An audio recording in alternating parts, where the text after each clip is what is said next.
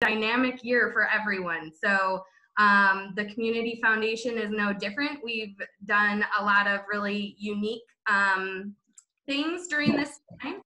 And um, I'm really excited to hear about your match program. Josh and I actually were talking about that. So if you have questions on any of the information that Josh gave you, um, that was information that came from my desk as well. So if you want more information on the Forgotten Initiative or uh, where Loving Bottoms is at right now and their needs or any other of the about 80 nonprofits that we serve in Knox and Warren counties, don't hesitate to ask me at the end of this presentation. I'll gladly fill you in on any um, of those needs. So let's get started. I will get a hold of you, Tiffany, for that here as soon as when we're done today. Sure, yeah, no problem, Will. So um, a couple things just to remind you about your community foundation, although I think a lot of you um, have worked with us in some way or capacity before, but we do serve Knox and Warren counties. We help to connect community members with the causes that they care about. So those community members that want to be philanthropic or charitable, um, we help them do that. So we also support law, uh, local nonprofits via grants and philanthropic funds, specifically donor advised funds or designated funds. Um, and we also really support local nonprofits and donors to build endowment to keep local wealth here and also for sustainability in programming. We want some of these programs to uh, carry on their legacy forever. So that's really the high points of what we do here at the foundation. Moving forward to some of that work that I said we kind of had to transition to this year. One of those hurdles is working remotely. Uh, the foundation has never undergone that, but fortunately we were able to figure it out. And so currently our office is actually working remotely. I came in today to have a better um, you know background if you will than my living room. And also my dog is loud. She likes to participate in meetings with me. So i didn't want any interruptions but um, no matter the situation we have continued to be accessible to people who care about uh, philanthropy in their area as well as supporting nonprofits through this super super dynamic time. One of the first things that we initially did with the onset of the pandemic in March was to come together with other local funders, specifically the McLean uh, Family Endowment Fund, the Vitali Family Foundation, um, as well as both the Knox and Warren County United Ways, and we established the Rapid Response Fund. Um, the Rapid Response Fund is a disaster aid uh, designated fund meaning that right now it's specifically used for COVID 19 needs and to support nonprofits that are responding to those emergencies or frontline services. Um, and so we've done a lot of granting for PPE and, um, you know, other other opportunities that have made organizations able to kind of pivot some of their missions during this time when we are hopefully on the other side of the COVID 19 pandemic, this uh, fund will remain at the Community Foundation for whatever emergency or disaster related event happens. We are in the Midwest, so we know very well that tornadoes can be devastating to communities. Um, or, you know, in, in certain areas of our region, flooding is a really um, impactful event that can can change people's course of action or organizations kind of doing business. So this rapid response fund will continue um, even after the pandemic to again um, be there to support after any type of disaster. We um, currently, our, our fund has received a little over $360,000 in contributions, which is amazing that has helped us to put out um, just north of $270,000 in grants here locally in Knox and Warren County. Um, also within that, the foundation was very active in collaborating with the Illinois COVID Response Fund um, and the Illinois Alliance of Community Foundations to disperse some of those philanthropic dollars that were coming out of the governor's office um, early on in the pandemic. So they really looked at community foundations and United Ways um, that already had disaster funds set up that were easy to get money into the hands of nonprofits quickly um, so that they could continue serving the people that call this region home. So that was something else that was really fortunate for us and this fund to be able to do. Another opportunity that we had come up um, this year was the opportunity to get some funding for our arts organizations through the Illinois Arts Artist Relief Fund. They again were looking for places like community foundations um, to raise dollars that would match then dollars that Illinois Arts Relief Fund was wanting to put back into our communities. So it was a two for one match grant opportunity with the Art Alliance of Illinois and the Arts for Illinois Relief Fund. Um, we raised $40,000 and the AIRF fund gave us $20,000. So $60,000 with that program was disseminated to local arts agencies um, just a few months ago. And those grantees included the Buchanan Center for the Arts over in Monmouth, Nova Singers, Galesburg Community Chorus, Prairie Players Civic Theater, and the Orpheum Theater. Another opportunity that we took uh, this time to really focus on was how do we support and prepare our nonprofits for what's happening right now. Um, so we had been talking about launching a professional development series uh, prior to COVID-19 and the pandemic um, that we wanted to launch later this year and into early 2021. Um, because of the pandemic, we kind of switched our timing around on that and launched a 10, um, I'm sorry, a 10 week series, including seven sessions um, that were brought to us by the brilliant minds of the Lilly School of Philanthropy at um, Indiana University, Purdue University Extension. Bill Stanczykiewicz, if any of you are familiar with his work, um, provided us with a five series on leadership and collaboration.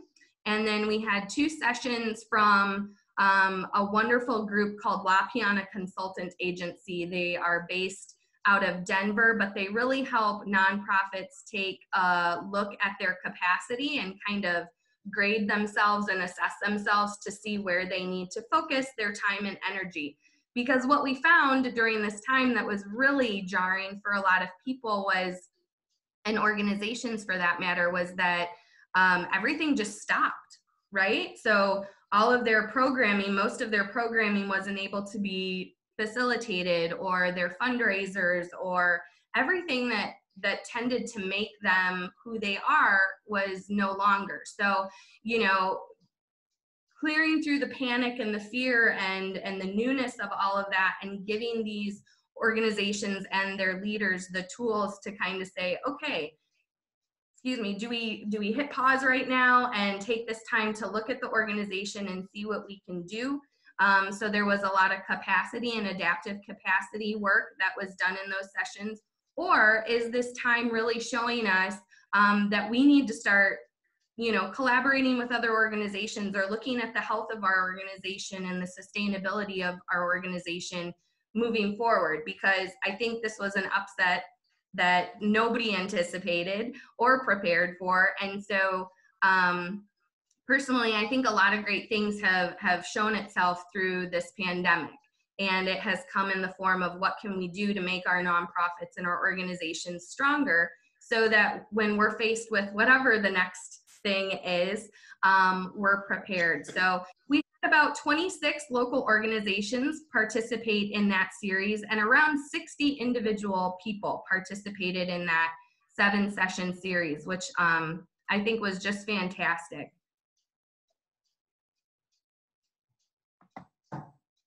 So that moves us on to um, one of the other things that we kind of launched right now because everybody was really focusing on the negative and what wasn't happening and what you know couldn't have access to we wanted to show what good was happening and what was going on um, in our community. So we launched an initiative called hashtag so much good happening where we really wanted to highlight some of the awesome philanthropic work that was going on you know during this time and right here in our communities and so as you all know uh, carrie hartline who is um, very involved with the Galesburg on Track Heart and Soul stuff. They have a fund with us at the Community Foundation that they use to then, in turn, um, take the guidelines that uh, of the things that we um, love about our community and grant to programs that uphold those values that we've adopted through the Heart and Soul Initiative. One of those programs this year was with the uh, library, Galesburg Public Library. They reached out to me and they said, We have this amazing idea for a story walk. We want to put it in Standish Park. It's going to be a great way for uh, children to do something fun with their families, to learn a little bit, you know, have some of that interaction. And so while we didn't have a particular grant program at the Community Foundation that that addressed that, I immediately thought of uh, our Galesburg on Track Fund and knew that this would be something that would be right in their wheelhouse. So sure enough, I reached out to Carrie Hartline and Tom Simpkins and said, hey, I have this proposal. Um, would you consider funding it?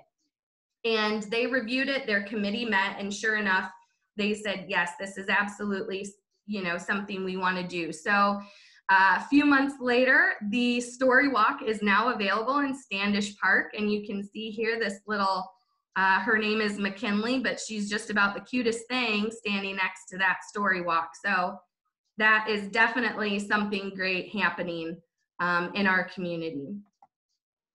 The second was, as you probably know, hear, whatever, um, food insecurity and access to nutritional food was top of the list for when this pandemic happened. And there are a lot of groups making sure that our friends and neighbors and community members are being fed really well. So um, here we have a picture, I believe this is from the Knox Prairie Community Kitchen. They do a free uh, dinner every other Thursday at the Baptist Church downtown that you can just drive through and pick up. And they are just um, a wonderful group of dedicated individuals making sure that uh, people have full stomachs and and a community surrounding them as well. Here we have the Salvation Army. So I, uh, so much good happening. In Salvation Army, one of their missions is not really um, to, uh, you know, attach themselves to food insecurity. What they do, and it's really amazing, is um, they are basically a case management system providing um, it's called Pathway of Hope, so housing or homelessness prevention um, to members of our community. Something that we've seen this this year, this past year, is um, we have a lot of vulnerable families or community members that in any other given year, most of the time they make it through each week, each year just hanging on, right?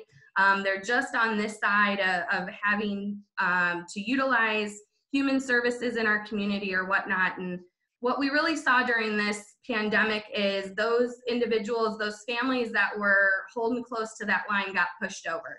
Uh, whether it was from loss of wages or furlough or um, you know illness that happened with loss of work time and things like that and so uh, the salvation army really started to see an influx in people needing to utilize their services because the brilliancy of what their service does is it's, it is a case management. So you enter the Pathway of Hope program, and not only are you um, breaking the generational poverty cycle, but you're also getting assistance in, you know, how do I keep a, a household budget? How do I do my finances? Um, how do I, you know, get transportation? How do I get contact information? Most people need a driver's license. They don't even have identification or a driver's license. And so Salvation Army um, in our area really does a lot to assist individuals. Including um, utility and rent assistance as well, even if you're not um, already to that point of not having a home or facing homelessness. They also do some preventative care as well so that your family can remain in your home. Here we have you guys brought up Loving Diapers Bottom Bank, or I'm sorry, Loving Bottoms Diaper Bank uh, earlier, and here they are. They work with wraparound agencies to supply uh, diapers, incontinence products, and period supplies for women. And very, you know, again, early on, uh, diapers and these types of supplies, one, they're expensive. And um, two, if you have little kiddos in your house, um, or older family members that you're taking care of, or if you're just a lady in general, these are very important products and needs for you. So um, they jumped on having you know their drive-through diaper banks at their agency locations and um, it was just phenomenal to see the people come out and really um, jump in and provide their hearts and their hands to to giving to our community members the last one here, hashtag so much good happening that I absolutely love is we were able to um, take some of our rapid response fund dollars and share with the Carl Sandburg um, College Foundation. They established an emergency fund for their students there because what they were starting to see with the onset of the pandemic and everything that came with that is um, you know, we had local students who were having to choose between paying their tuition or paying their car payment.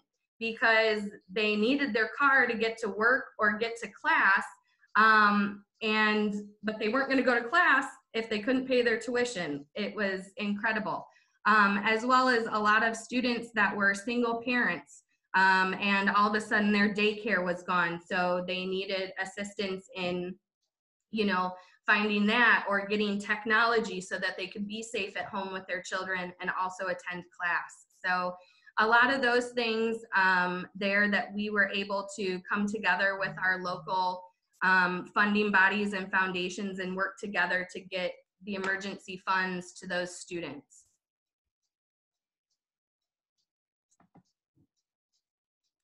So to wrap up, um, we here at the Community Foundation are working uh, just as hard, if not harder, to make sure that our local nonprofits are supported during this time um, because we do know that they are the boots on the ground for people that are needing these services, especially during this time. So um, I'm happy to take any questions that you have or explain anything to you. Um, I love what I do. I am very passionate, so I could probably go on and on and on um, about the work that we do and the generosity that we see every day um, from donors, from nonprofits, from entities like that, that is just truly amazing. So, um, in all of my work in nonprofit and community outreach, I will have to say that I have never lived in a community like Galesburg where um, even though we tend to operate a little bit in silos, um, I have never seen such passion for our community by our community members. Um, it is it is a truly truly amazing thing to see us take care of one another. And so, um, you know, you hooked me, Galesburg. You hooked me, and I know that you all are very philanthropic as well. So thank you for the work that you do in keeping our community um, ahead of the rest as well. Questions? Um, Tiffany, if you can uh, get the presentation off so I can see the rest of the people, if you would. Thank you so much. Yes. What a great, what a great talk. Any questions for uh, uh, Tiffany? I have one, Will. Okay, Tom has a question for you, Tiffany. Tiffany, on All right. a donor advised fund, you send out annual statements accounting showing what your balance was end of the year, uh, interest or dividends earned, disbursements made, any contributions to that fund? Uh, you send those out and how often do you do that? Yep. So if you any any fund that you hold here at the Community Foundation, whether it's a designated fund, a donor advised fund, um, an endowed fund, you do get, uh, we send out quarterly statements and we can either do that physically or when you set up a fund with us, you actually get a login and password that you can actually access your fund and your account um, at any given time. So you can see if people are donating to your fund, you can see what your dividends and returns are, um, because as you know, we take all of those um, wonderful funds and we invest those dollars in the larger GCF pool that uh, produces um, a return on your fund. So yes, you can access your fund at any time, but we send out statements quarterly. Thank you. Yes, Harold. Yeah, Tiffany, on a uh, donor advised or whatever you call it, endowment, uh, what sort of uh, annual performance do you get uh, to, and how do you keep the, the integrity of the principle and are you able to add to it at any time? Sure. So whether or not you're doing an endowed fund, meaning that um, you can always add to the corpus of that fund, um, you, we, we don't take away from it, right? We can't spend that down to zero if it's endowed. It just, that corpus stays intact and annually earns about 4.5% uh, return on the amount that you have in that corpus. If it is a non-endowed account, meaning that you can take that that original amount, that corpus amount, and spend it down to zero, depending on what you want to do with it um, you're still going to earn a four and a half percent ish uh, return on that annually. That'll go into your spendable. Does the four and a half percent include uh, uh, servicing service charges of the foundation? So annually, the foundation takes a one percent um, fee service charge for administering and managing your account. Okay, so that, that brings it down to three and a half percent distributed then, or what? Well, Harold, you know, I'm just hitting my talking points, but I Okay. think probably a more in-depth question for Sean, our Director of Finance, and Josh. Um, I know about as much to be knowledgeable, but when you want to you want to get into that info, I would say time to move you on to somebody that knows way more than I do. Thank you. Any more questions for Tiffany? So real quick, Will, I'd love to take the opportunity. You, you had mentioned some questions about the Forgotten Initiative and the work that they do here in Knox County. And um, I've been talking with them a lot lately. Madison Flack is their executive director. She's lovely. But um, the Forgotten Initiative exists to uh, support three local agencies within our, our county. So DCFS, uh, Child Protective Services, and Luther, I'm sorry, um, not Child Protective Services, Child um, and Family Services, and Lutheran Social Services. And what they do is they specifically um, exist to support the families that are taking on foster children. So currently we have 141 foster children in Knox County alone. And when people decide to take on um, those kiddos, a lot of times they are coming into foster care with no clothes, no shoes. They don't have, you know, if they do have some things that they're bringing with them, they're in a trash bag. So it's very traumatic and demoralizing for the child. Um, and so these families uh, that take in foster kids, the Forgotten Initiative work really hard to provide them with uh, journey bags for the kid kiddos. So they're actual backpacks that they can keep their stuff in, and they have games and food and things like that in there. They provide clothing and mattresses and dressers and um, a lot of other things to these families for the kiddos that are coming to them from the foster care system. So uh, they also provide a lot of emotional and, and social support for the foster families themselves because as, as you can imagine, that is a very um, consuming and, and emotionally tasking um, thing to take on a foster child because most of them do have significant trauma that they've been through or they have some social emotional uh, distress that they are bringing into their foster home. And so they also provide some respite and, um, you know, counseling services to their foster family as well. So great, great organization. So don't, the, the way to get, to, to get a hold of you, uh, Tiffany, is to call you at, or you have a uh, a number, uh, like a cell number I can call you on? Sure. So again, we are working remotely mostly, but you can call our office at 344-8898 and you'll be able to choose uh, my my line and leave me a voicemail and I will get a message instantaneously and I can call you back. Otherwise, you feel free to call my cell phone at any time and that number is 815-997 3233. You can also always reach me via email at tspringer at yourgcf.org. Wow, what a way to get a girl's number. Just, uh, I mean, uh, uh, I don't need to know anymore to find you now. That's right. I mean, don't take it out of context, but I'm pretty easy, Will. okay, I get it. Uh, well, you've done an amazing job. Anybody else has any uh, questions for Tiffany? Um, and uh, think, I mean, that was so informative, um, uh, which brings a lot of questions in the in the future. So you guys host. So if Will Easer wants to start a a, a foundation, you you would host that. How does that work? So, uh, one, I would tell you that is definitely where you're going to reach out to Josh Gibb. But yes, if Will Azer wanted to start the Will Azer Family Endowment Fund uh, to be philanthropic, we can definitely help you with that, Will. I'm not saying I'm starting one. I was just asking. I think don't know. I, I heard, I heard some, some interest there, Will. Here you go. Here's Mike Lamson has a question for you. Did you Okay. put out- Did you put out the information about how to reach the, the group that takes care of foster kids?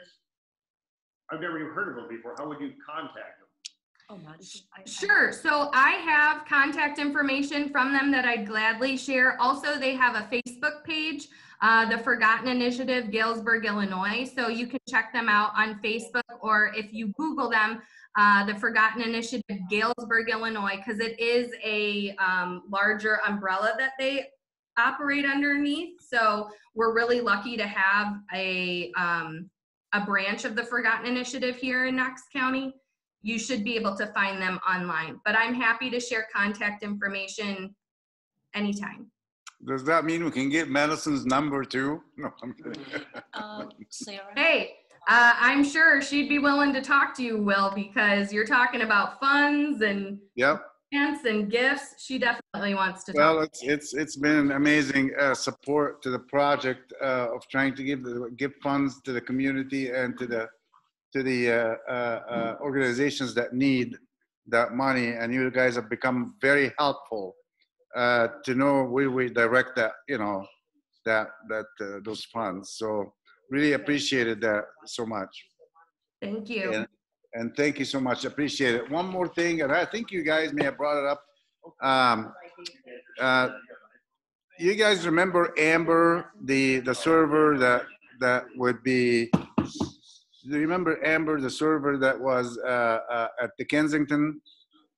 If you remember, we usually come up with a, uh, um, you know, every maybe three times a year, especially around Christmas, for like a bucket and and uh, uh, uh, just give her some tip and, and, and of so. I'm sure she would probably, um, I mean, use that. Um, I sound in the last couple of weeks, I'm just see you, so I ask you for money. I thought that, you know, our club has money in their account as far as our club. So I might, you know, ask the board and ask you, maybe we'll just pledge three, four hundred dollars and write her a check. What do you guys think about that?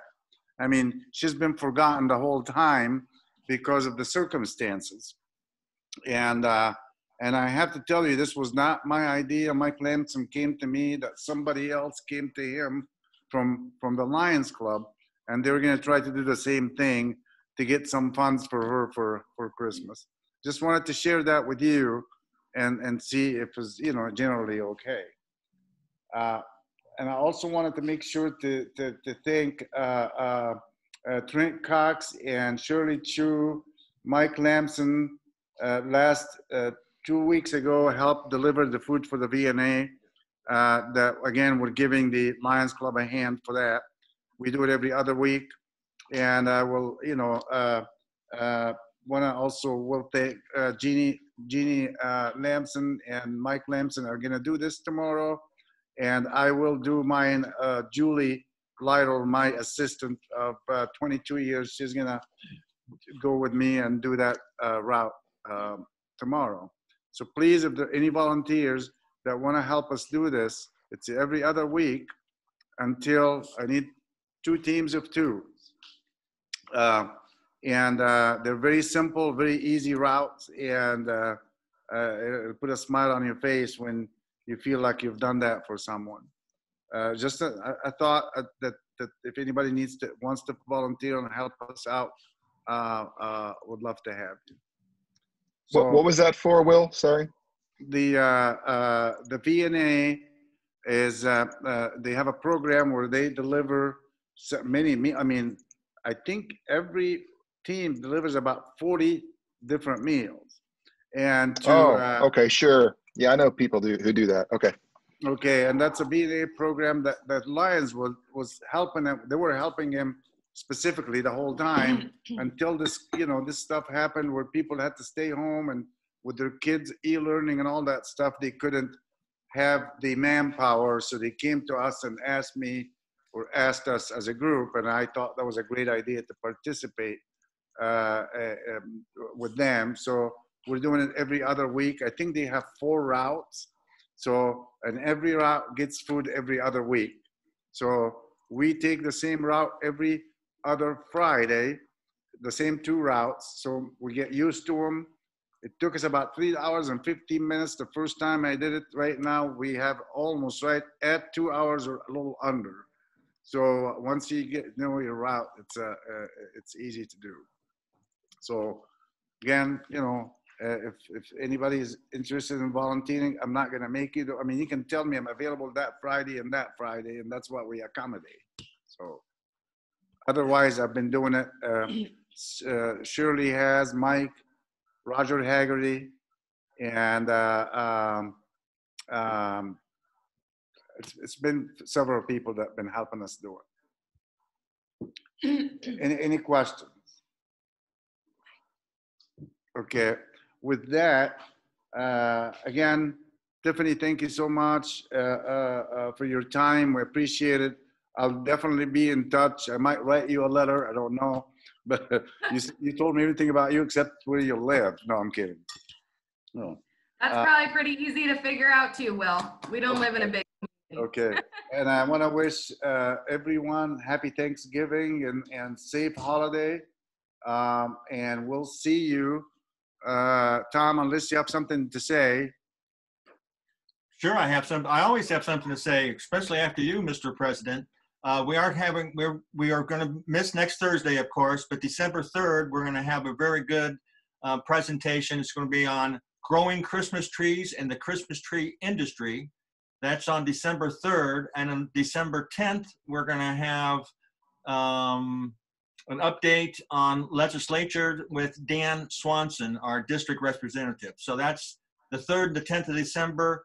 We then also have a meeting on the 17th, and then the next two weeks after that will be Christmas Eve and New Year's Eve. We won't be meeting. So three times in December, but don't come tomorrow. Don't come next week. And thank you. I'm afraid that you're going to be the one coming next week, but uh, happy holidays, everyone. And, and uh, thank you so much. Appreciate you again, uh, Tiffany, and the meeting is adjourned. Thank you so much. Mike, I send you uh, her direct number.